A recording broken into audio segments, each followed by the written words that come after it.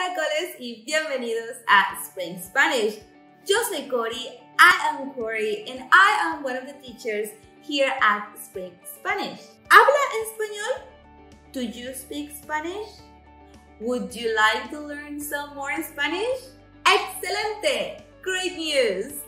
Today, I'll teach you some frases útiles, useful phrases that will help you feel more confident now that you're learning Spanish.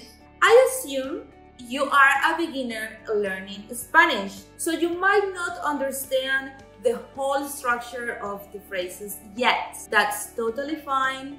You don't have to understand all the grammar rules behind them yet. I am teaching them you as whole chunks.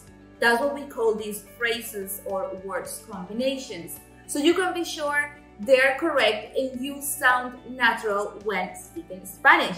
We teach Spanish with these chunks throughout the whole Spring Spanish channel and also our courses in the Spring Spanish Academy for beginners and also for advanced. So, comencemos!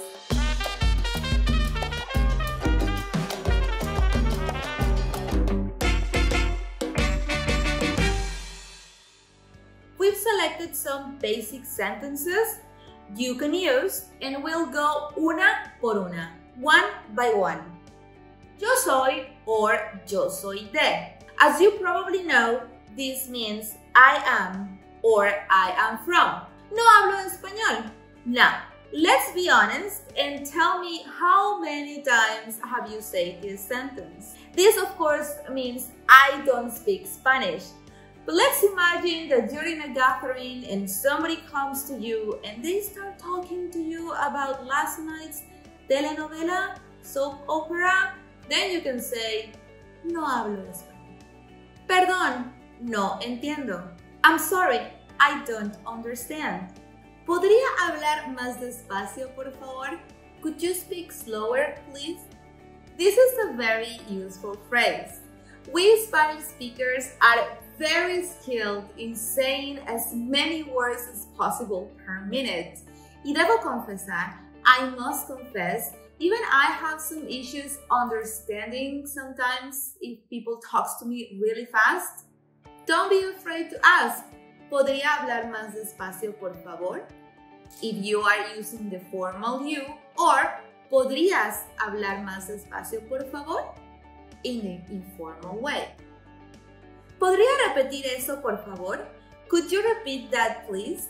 Given the fact that there are so many different accents in the Spanish language, you might hear something that maybe you don't understand the first time or you are doubtful about it. Don't hesitate to ask. ¿Podría repetir eso, por favor? Remember, por favor and a good smile opens doors. ¿Habla inglés? Do you speak English? But don't be lazy and do your best to continue in Spanish. La práctica hace al maestro.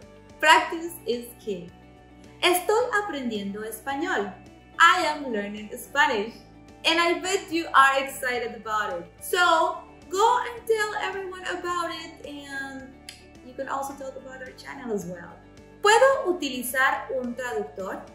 Can I use a translator? Now, the following are what I call Spanish phrases for rookie survival. And the first is pica or esto pica? Is this spicy? Here in Mexico, there is an illness called el mal de Moctezuma, Moctezuma's illness.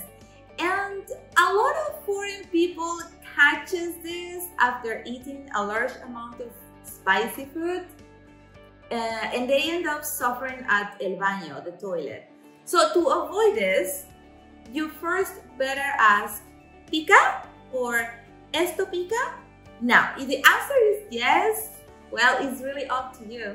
Tengo sed or me da un vaso con agua, por favor? I'm thirsty or can I have a glass of water, please? Now, the survival tip here is if you didn't ask if your food was spicy or not, and you feel very, very hot, as in spicy hot, then you don't want to drink water, believe me. It's better off if you ask for some sal, salt. ¿Dónde está el baño? Where is the toilet?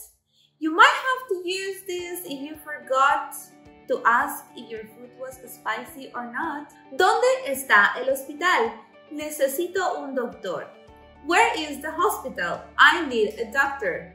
Now, I'm not trying to scare you, but maybe going to el baño, the toilet, hasn't been of a lot of help after all those tacos and you actually need to go to the hospital. Well, now you know how to ask for it. ¿Cuánto cuesta? O ¿cuánto es? How much it is? In English, the translation for both sentences is the same, but in Spanish, it is common to ask ¿Cuánto cuesta? Uh, for a service or an item before you buy it and ¿Cuánto es after buying them? So you can pay. Or you don't care and you have a lot of money and gastas y gastas, you know. Those are some of the basic phrases you can learn. And of course, you are welcome to our channel where we have more videos with other sentences that are going to help you to improve your Spanish. For example, ¿Qué hora es? What time is it? ¿Qué día es hoy? What day is it today? ¿Cómo te llamas? What's your name? Y muchos, muchos más, and many more. Muy bien! Now, you know some easy phrases that will help you to become confident when you use your Spanish. And don't worry, we love it when a person makes the effort to speak our own language. Don't you worry on being perfect. Don't you worry that people is gonna make fun of you. I promise I won't. So don't be afraid and start using your Spanish. Now, if you are ready to take it a step further, go beyond these basic phrases and get serious about learning Spanish, we have a free Spanish training on our website where you'll discover the method we use at our Spring Spanish Academy to have you speak in Spanish super rápido, super fast. You also get some free samples there that come straight from our academy. If you're interested, just click in the description to sign up. And I think that's it. Thank you very much. I hope you had fun. I definitely did. Hasta la vista y gracias totales. Don't forget to subscribe, drop a like, and share the video with your friends.